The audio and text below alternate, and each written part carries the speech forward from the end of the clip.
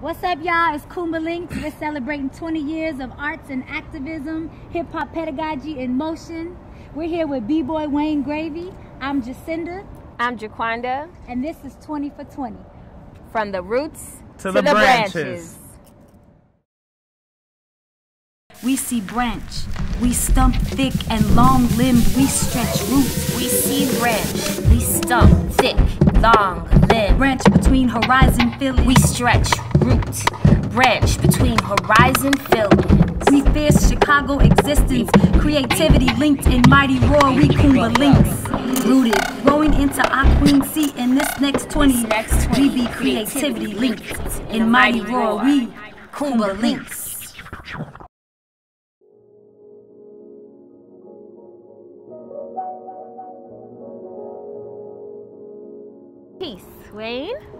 Um, so tell us what's up. What you been on? How have you been? Um, I've been good. Um, I just sorry I haven't been around a lot. You know, I've, I've been busy just trying to make myself me. I guess I was working a couple jobs. I was working at a gym. I was uh, doing customer service and uh, personal training there.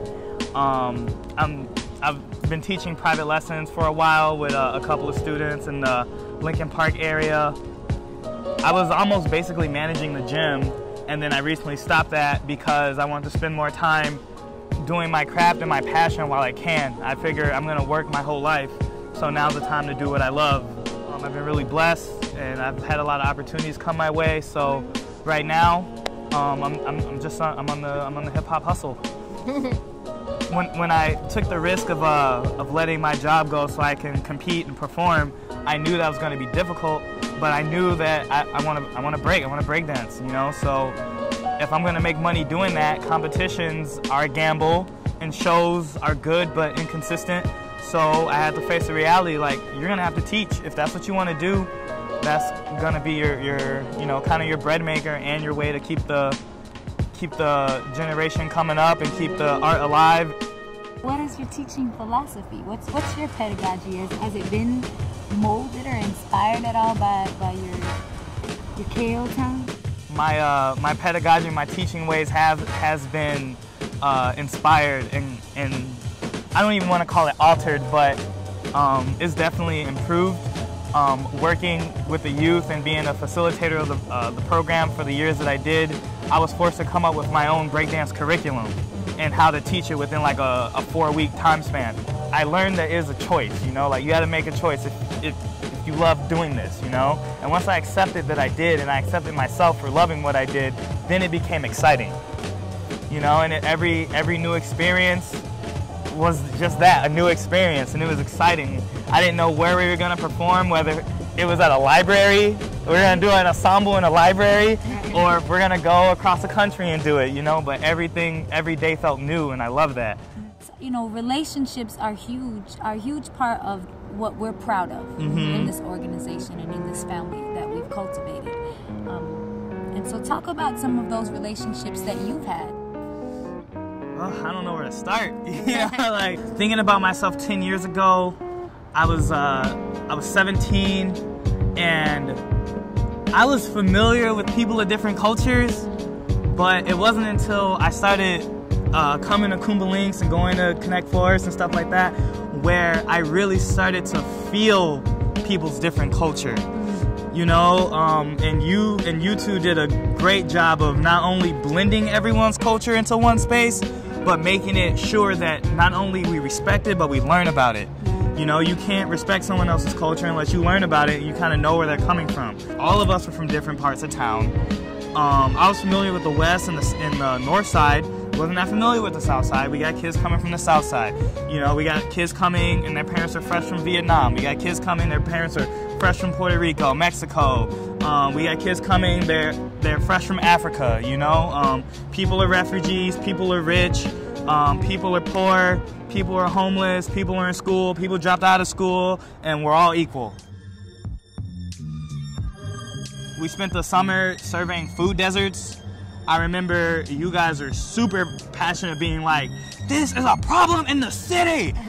and we're gonna learn about it. That that was just it. And we went around to all the different neighborhoods on the north side and uptown, on the south side, and we would see what food, like what was the most accessible food. A lot of it was like chips and junk food, and they didn't have grocery stores, and a lot of poor areas like didn't have a lot of healthy options to choose food from. And it was it was a wake up call. It was I think it was a wake up call for all of us. Some of us were immature, but that was something that you couldn't ignore. What kind of value do you put on our programming and if it should or continue or not continue? Man, I mean, like, it needs to.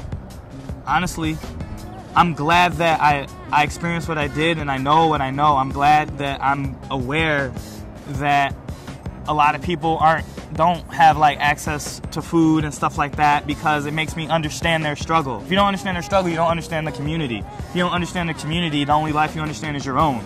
And you can't really help much or be an asset to anyone in this life if you only understand yourself. Yeah, I guess I just want to I want to thank you guys. I don't know if I've ever like thanked you guys personally, you know, like looked you dead in your face and like was like thank you.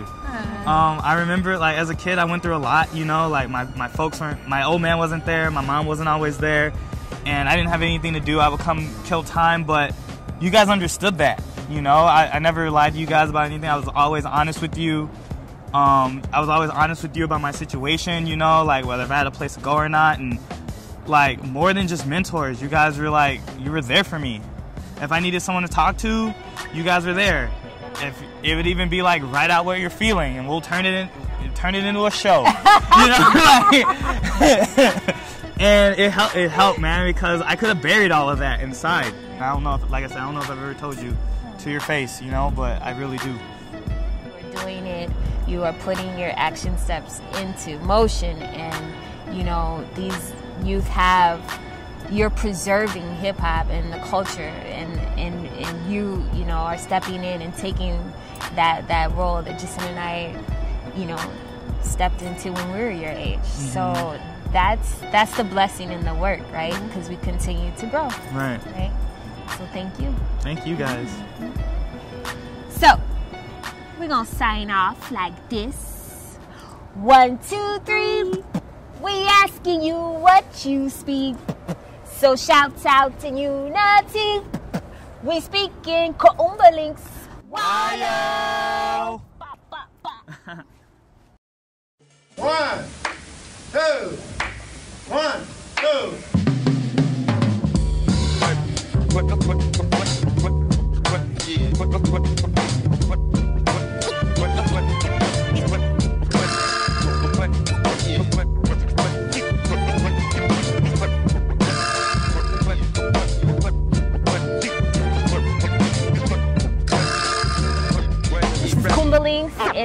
20 for 20, we're here with Wayne Cauthen, aka Wayne Gravy. and we're out. Peace.